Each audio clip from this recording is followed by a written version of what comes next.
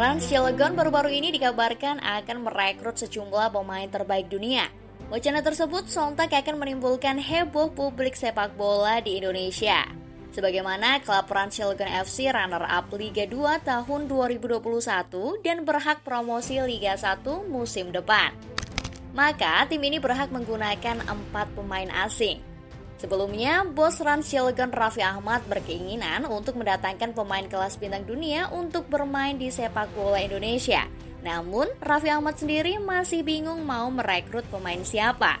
Nantikan saja, pasti bakal seru. Tim promosi Liga 1 Rans Cilegon FC mengkode akan merekrut pemain ex Barcelona dan AC Milan. Sosok itu ialah Boyan Kriek. Boyan Krik sendiri yang sempat dijuluki titisan Lionel Messi yang masih aktif bermain di Liga Jepang bersama Vissel Kobe. Ia bermain bersama mantan rekannya Barcelona adalah Andres Iniesta. Boyan Krik merupakan pemain sepak bola asal Spanyol yang berposisi sebagai penyerang. Boyan besar di Barcelona dan dia pernah hijrah di negara Italia untuk membela AC Milan hingga sempat ke AS Roma. Kemudian membela skuad Ajax Amsterdam, Stoke City, dan Deportivo Alaves. Pada tahun 2007 sampai 2011, ia bermain bersama Barcelona.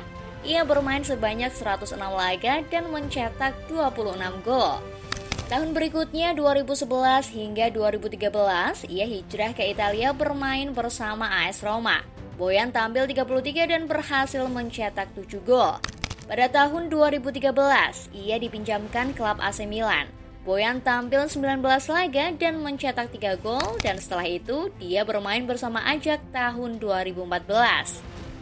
Boyan Krik sempat bermain di Liga Inggris bersama klub Stoke City pada tahun 2014 hingga 2019. Dan sekarang Boyan bermain bersama Vissel Kobe di Liga Jepang sampai sekarang. Menurut Transfermarkt, Boyan Krik kabarnya memiliki nilai transfer sekitar 12 miliar rupiah.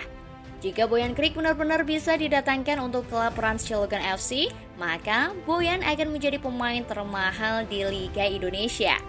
Rans FC bukan kali ini saja menimbulkan kehebohan seluruh jaga dunia sepak bola Indonesia.